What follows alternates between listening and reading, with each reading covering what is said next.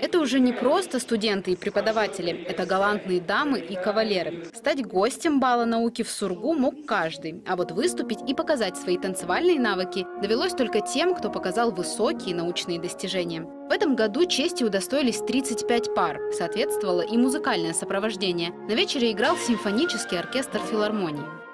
Бал введен был в университете именно для того, а, чтобы в рамках воспитательных целей. Дело в том, что в России а, балы всегда а, прививали культуру, прививали традиции, прививали нематериальное культурное наследие страны. Вот, поэтому данный бал даже в рамках воспитательной цели и пропаганде науки в Югре является таким важным элементом.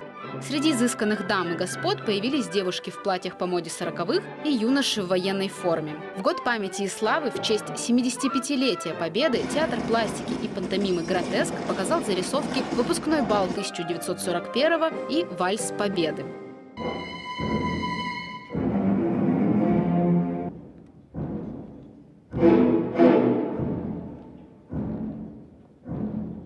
Никита Усенков выступал на балу уже в четвертый раз. Готовился тщательно, репетировал с хореографом в университете. Было непросто, но главное, все получилось. В этот вечер вальс сменял полькой, полонез уступал место мазурке и старинному минуэту. Чего только не сделаешь ради науки.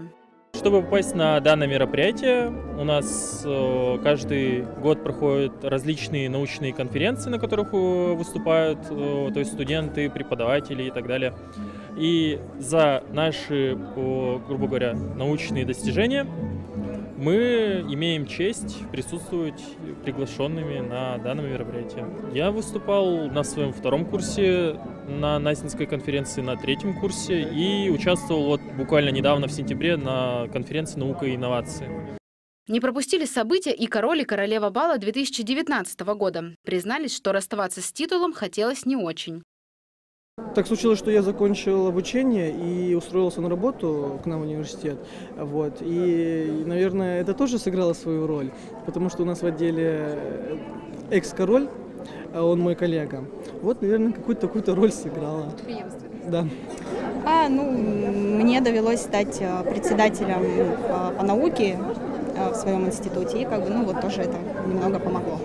Студентов приветствовал ректор СУРГУ Сергей Косинок. В своем выступлении он подчеркнул, что молодые ученые – это кадровый и интеллектуальный резерв как самой науки, так и всего общества. Для нас и для каждого из вас, уважаемые универсанты, праздником мы собрались на танцевальный вечер, чтобы насладиться идеалом красоты, добра и творчества. Посмотрите, как прекрасные участники бала. После танцев по доброй традиции ректор исполнял желания студентов. Звучали мечты об участии в следующем балу, 40 футболок Институту экономики и управления, но парковка для студентов оказалась самым заветным желанием. Появилась своя парковка. Ректора ответственно находится в зале. Я думаю, сейчас они уже думают, э, как это рядом возле вуза определить такую парковку, да? Есть предложение уже? Хорошо. В завершении вечера прошел традиционный конкурс «Король и королева бала». В этот раз обладателями заветного титула стали студент Института естественных и технических наук Вадим Бекчев и студентка Института экономики и управления Диана Вильданова. Елена Монатиди, Вячеслав Шаркунов, Сургут Интерновости. Дамы и господа,